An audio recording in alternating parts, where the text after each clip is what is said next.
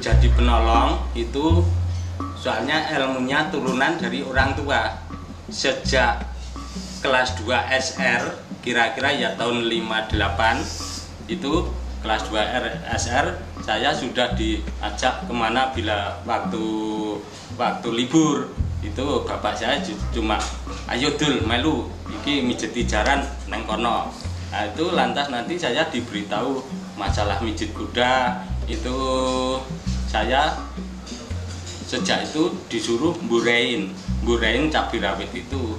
Tapi kurang kurang sempurna lantas disempurnakan bapak saya burai itu itu sisanya sisanya jahe cabai rawit itu lantas di ini dilulurkan badan Pak Dul sejak kelas 2 makanya sampai sekarang biasa Pak Dul mijit sama buren ramuan cabai rawit seperti itu biasa. Jadi Pak Dur kalau ditanya gimana rasanya masuk angin saya belum tahu.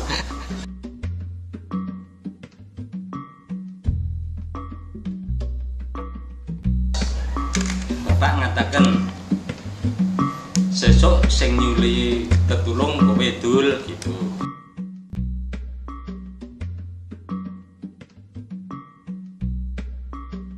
Kudanya bau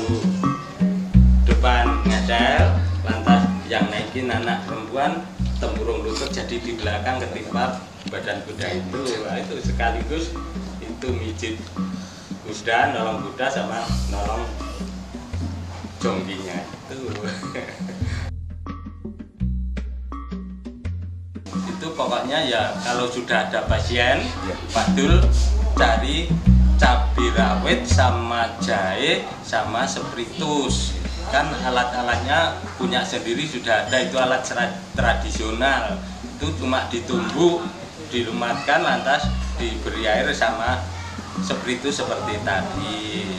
Nah, itu setelah ditumbuk jadi ramuan nanti dibawa ke tempat yang punya hewan.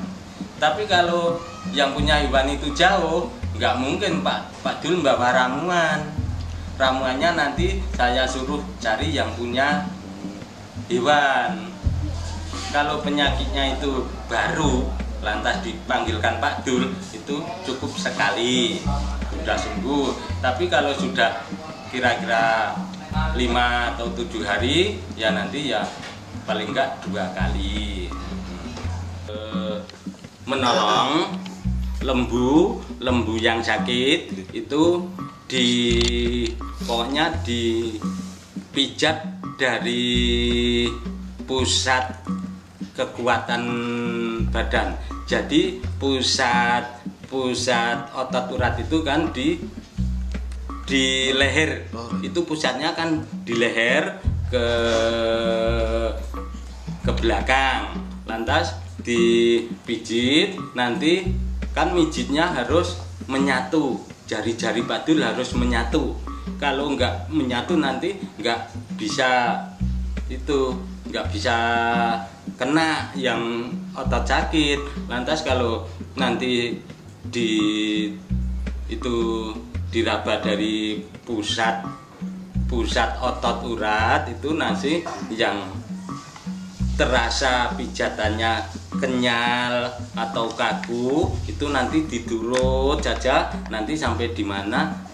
Sampai di tempat posisi yang sakit. Kan itu tadi saya turut itu dan lantas itu saya pijit sampai lumat sampai apa itu? Sampai bisa dilulur itu dari pusatnya ke tempat yang sumber penyakitnya itu kalau sudah lemes-lemes sudah empuk itu lantas dilulur sama ramuan itu tadi oh. itu sudah ada ilmu ilmu kebatinan hmm. oh, itu Pak Dul pakai ilmu kebatinan hmm. juga Pak Dul bawa bawa, bawa benda ini tinggalan orang tua pokoknya anu menurut kepercayaan ini yang memberi Tuhan.